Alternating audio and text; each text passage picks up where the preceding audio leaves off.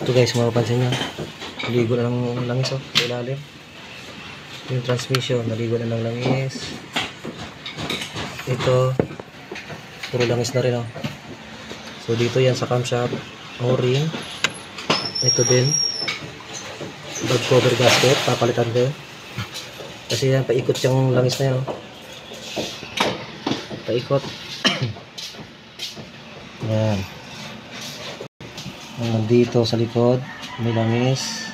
Hanggang dun sa kaloob-looban. Yan, babaklasin natin tong intake manifold para makita natin. So ito ay 89,000 odo. Ah, 8 years. So kailangan ng palitan itong timing belt kasi malamang basa to. Basa yan sa loob. Yan. Baka pati yung camshaft o-ring, camshaft oil seal dyan ay nagtagas na rin. Tumigay na rin.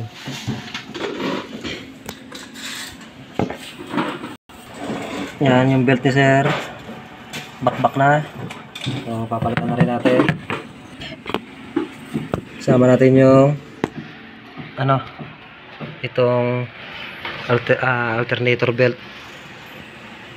Pati ito. Aircon sir, nakapagpalinis ka na? Ha sir?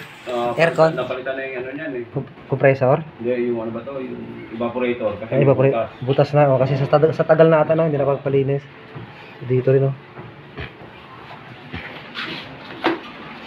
Ito.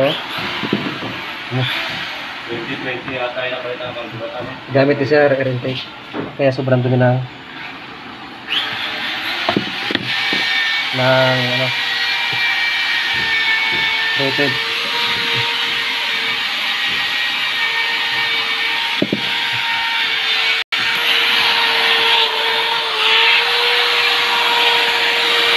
Ito na, dumi na. Nakalawang.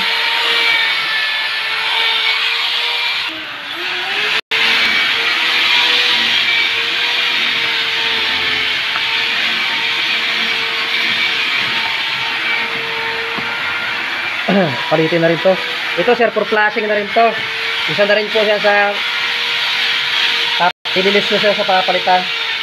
Fluid.